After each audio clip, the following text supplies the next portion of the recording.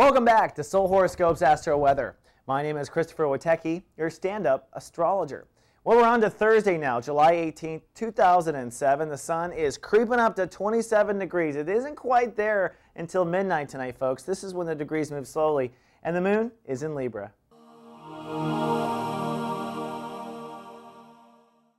Well, examining the planets as I look at them closely, the real event of the day is a double square going on caused by the moon in Libra. You can see the moon in Libra here, and you can see these red lines. One goes to Pluto in Sag, the other is down to Mercury in Cancer.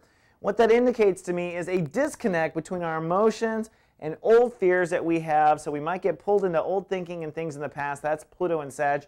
And then our emotions and our ability to communicate. So today we're all feeling, but we're not talking as easily. No worries, that does get over by tomorrow. Before you click on your own personal horoscope, though, take a look at the moods of all 12 signs. Let's start now with the Arieses. Aries, sunny, strong, and sentimental in their hearts with the moon in the opposite sign. The Leos are sunny and pensive, may have a test of faith today. And the Sagittarius are sunny and social, but there's fears of the old self coming through. Moving on now to the Earth signs. Taurus, cloudy but slave of the moment. The Virgos are sunny and valuable, and the Capricorns are sunny and professional today. Moving on now to the air signs. Gemini, partly sunny, but a chance of temper tantrums with that square. The Librans are sunny and cool with the moon in their sign, and the Aquas are, spaces, are spacey and processing fears at large. And lastly, our water signs.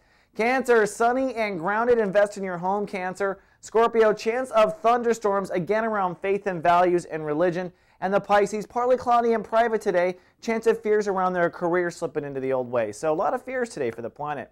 That's all we have for the Astro Weather. Be sure to click on your own horoscope and get the detail of your potential fear. And while you're out there fear fighting, well, I'll be in this studio covering your Astro. So